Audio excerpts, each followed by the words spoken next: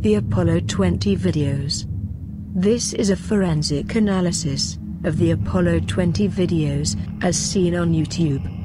We will be exploring the facts and speculation of this video in an attempt to verify its validity and origin. We will be seeing clips from the original videos, which shouldn't constitute any copyright infringement, unless somebody like NASA is willing to come forward and claim that they own this video.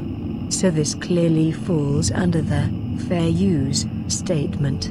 A quick summary of the original story. Allegedly NASA launched a secret Apollo 20 mission to the moon to investigate what seems to resemble something man-made laying in a crater on the backside of the moon. It is speculated that this is a spaceship. It looks more like it's made of stone or rock and hand-carved by somebody.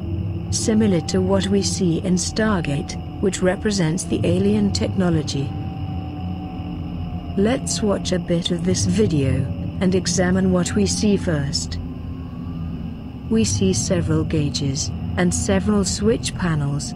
We see a hatch or compartment cover with an Apollo 20 patch and a half Russian and half American flag taped to it.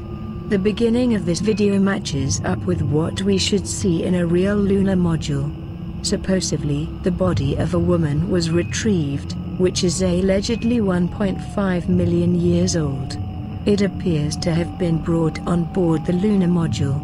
At first, it appears to be frozen. After some poking and prying at it, and after some thawing the weird splints that were attached to her eyes and mouth apparently had been removed. At this point it seems her face must still be elastic, because her mouth is now mostly closed. Let's watch a bit more of the video, and examine what else we see.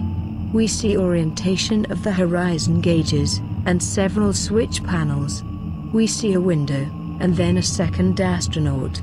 After some digital comparison to a real photo of Leonov, it seems this astronaut's facial features are correct, and seem to match up with Leonov's face. He zooms outside through the window, and we see equipment on the surface of the moon casting shadows. There are apparently landed on the moon. The movement of the camera seems like it's scripted.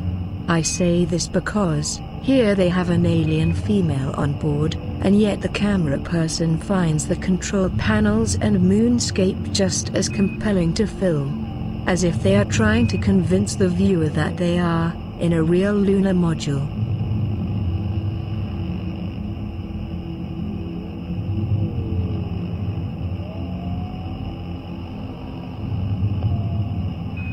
We see a body of a female.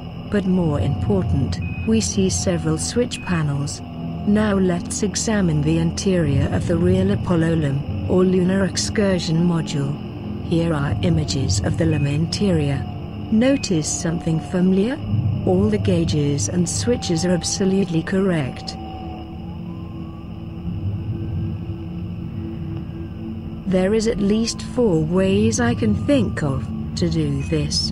1. They mocked up an exact replica of the lunar module. 2.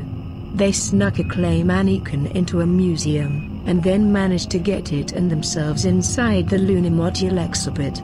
3 they managed to gain access to the soundstage and props where Tom Hanks filmed Apollo 13, or the soundstage of the 2011 movie, Apollo 18. 4.